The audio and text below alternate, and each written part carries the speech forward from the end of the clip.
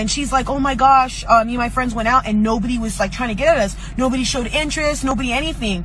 And a guy duetted it or stitched it and he actually said, well, look what you women have done. Like, this is what you wanted, correct? So I want to piggyback off of that.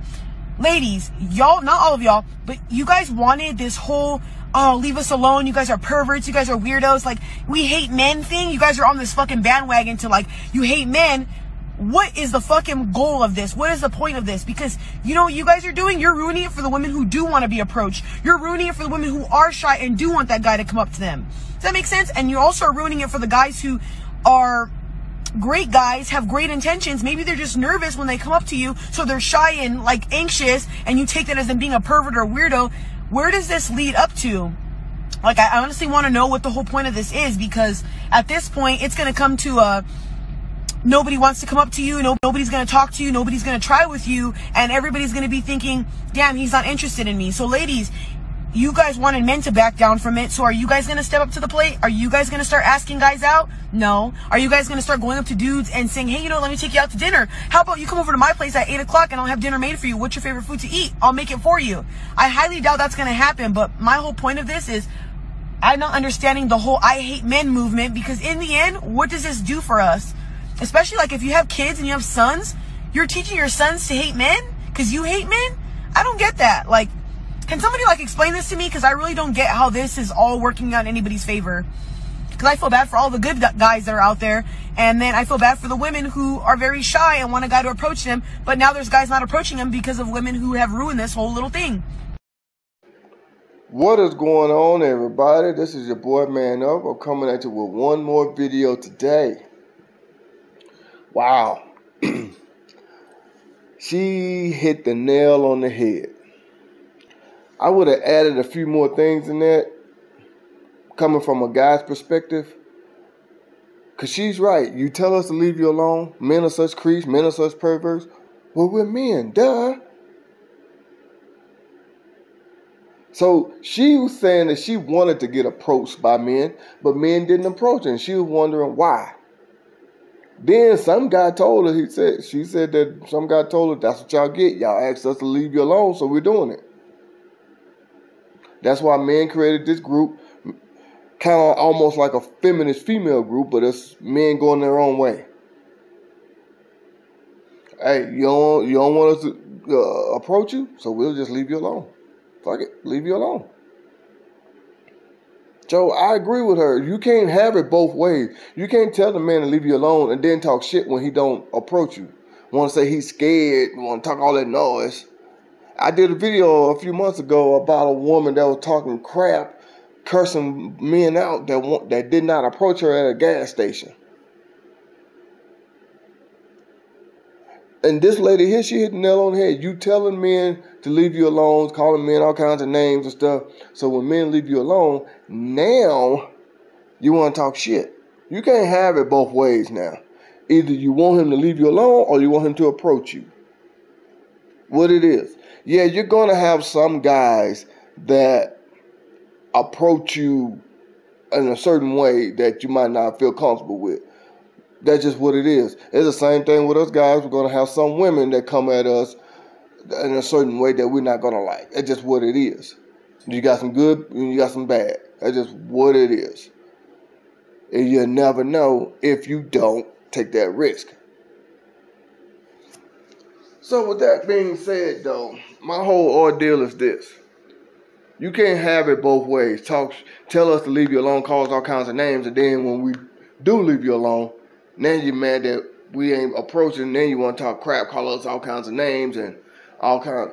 See, these days lately, I did a thing talking about Brian, the Brian Banks movie. Y'all go check that movie out. Brian Banks. Is uh, it should be on DVD by well, well, it is on DVD by now. How Brian Banks got you know these rape allegations you know against him and messed up his NFL career and all that stuff. That's what y'all women are doing to us. So we're starting to say, you know what? We don't know anymore, so we're just saying, fuck it. Leave it alone. Just forget it. Because I can approach a woman and then later on have these false allegations against me, these false rumors against me, And this lady said it right. I agree 100% with her. You can't have it both ways, then talk crap. Now, you messing with the laws of physics. You don't want men to approach you. How do you think you got here? Your dad had to approach your mom. Women, y'all don't want to come talk to us. Y'all want us to do the talking. Y'all want us to approach you. So when a man do approach, hmm, then she's right. Are you going to approach him and, you know, ask him out and take him out on dates and pay for it and all that stuff? No, you're not. Because that's not the way it goes. The man is supposed to do that. So you're not going to do it. So if you don't want to be approached, make it be known that you don't want to. Don't say women don't want to, because now you're putting it in, in our head as a man. Okay, I'm not going to approach any woman then. I'm to wait for her to approach me. I mean, yeah, you got some women that will approach men and, you know, that will ask a man out, ask him for his number. You, there is. But, for the most part, you know that's not happening. All I'm saying is this here you can't have it both ways. And this woman is right. You're not gonna you're not gonna do the things that men do. You can't do the things that men do because it's not in your nature. So I don't know what it is that y'all wanting, wanting from us, because y'all send us mixed signals all the time. You want a man to approach you, then talk shit if you don't. Then when a man do approach you, you you saying men are creeps, men are pervert? No, say that man was a pervert. That man was a creep. That man was weird. That man only wanted what's between my legs. Not every man. Because I didn't approach my wife with those kind of intentions.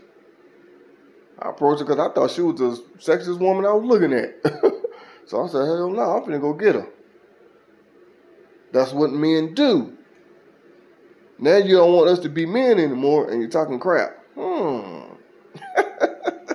How does that work? How's this working out for you?